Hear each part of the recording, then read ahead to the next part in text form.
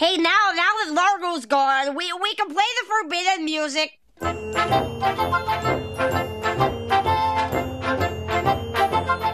I heard that.